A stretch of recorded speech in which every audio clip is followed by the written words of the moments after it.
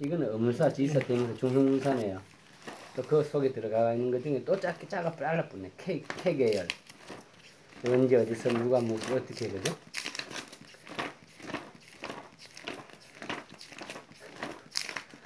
참 많다. 내가 봐도.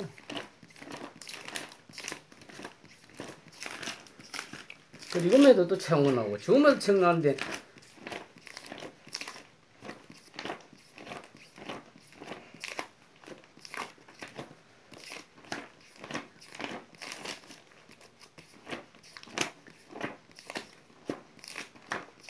중성 부정사. 아무 때나 음,